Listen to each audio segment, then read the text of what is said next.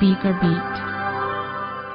It's Monday, December 19th, 2011, and this week's Beaker Beat, tis the season to be jolly, and that's how one life sciences company is making their shareholders feel. We'll explain coming up.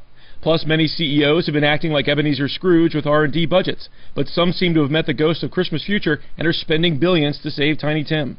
And do holiday social gatherings scare the dickens out of you? Well, there may be a way to overcome your fright with a drug spray. And no, it's not pepper spray.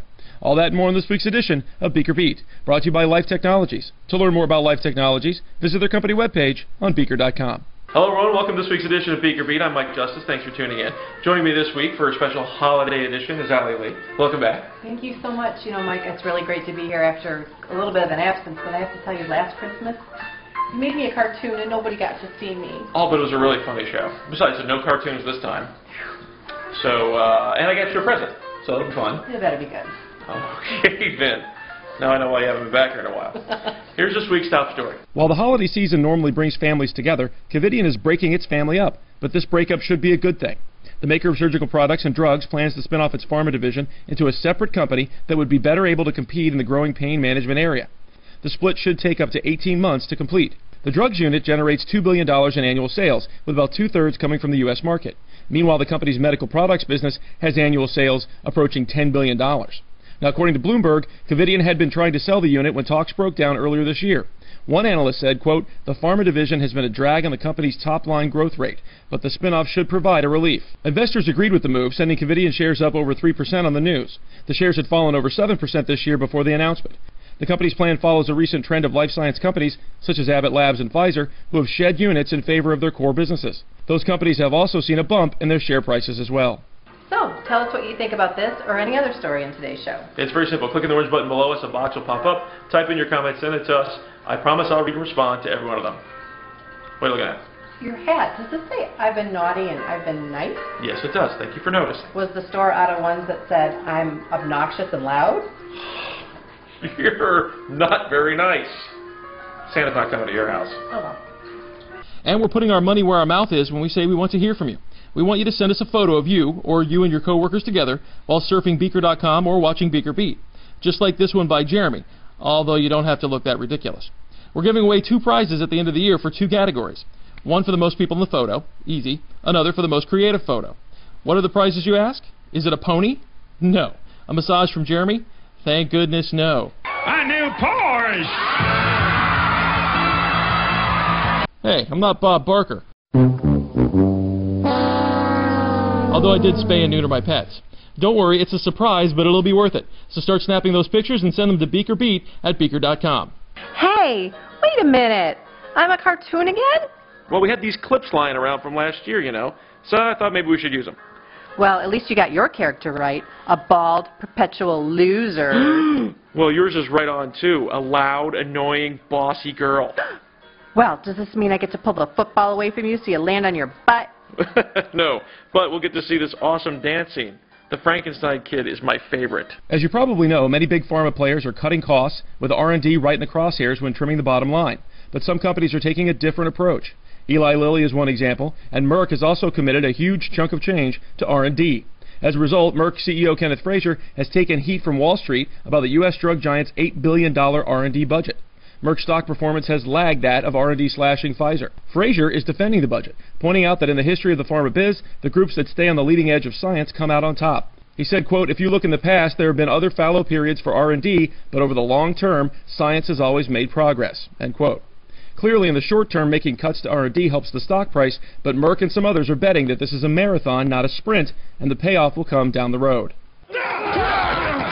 Does Santa know that you left the workshop? You know, we're all laughing our heads off. Did you have to borrow a reindeer to get down here? You're feeling strong, my friend? Call me Elf one more time.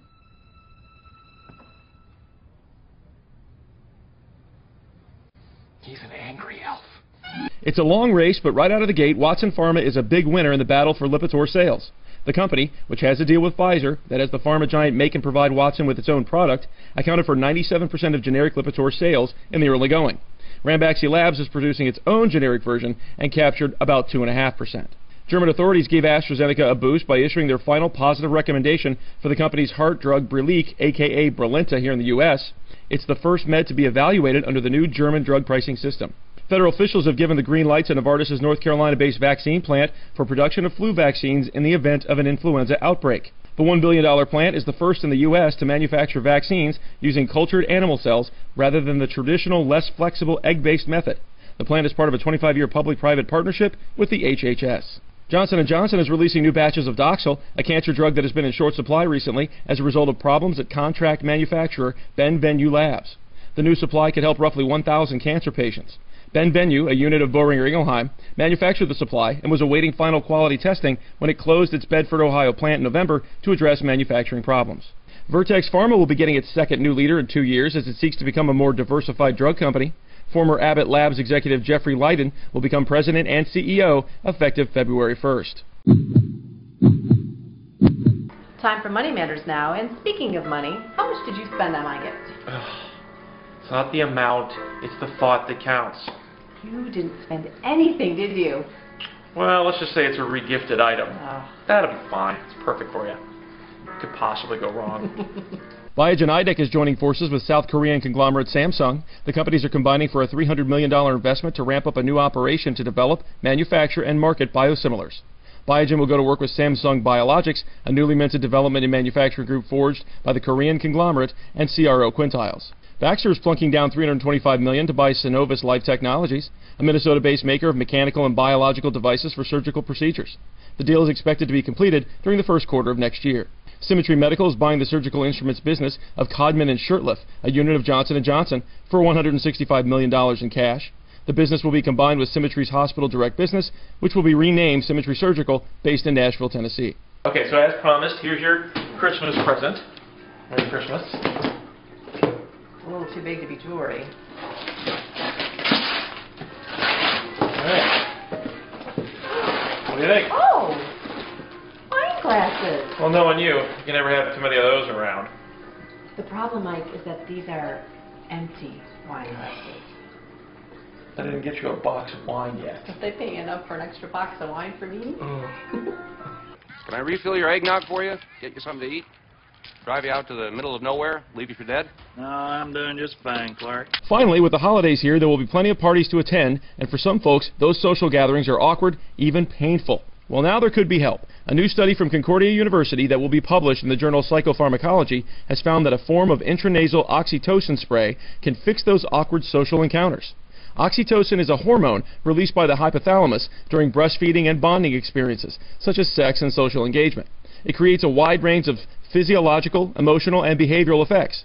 The goal of the study was to see whether it can alter personality traits, and the results suggest it does. The participants in the study inhaled a synthetic version of oxytocin through a nasal spray and 90 minutes later completed questionnaires on how they felt.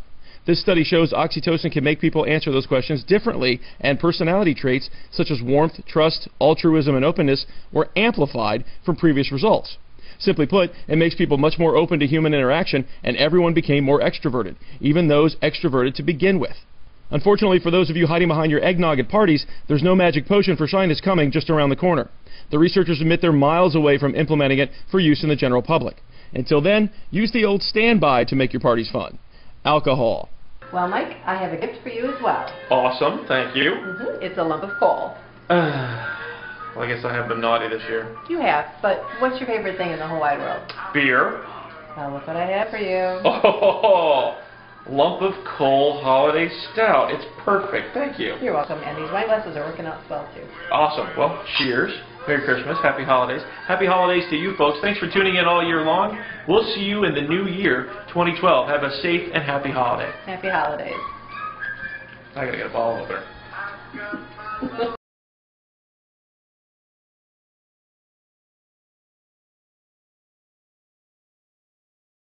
Sit, Beaker. Sit. Good dog. Hey, Allie. What?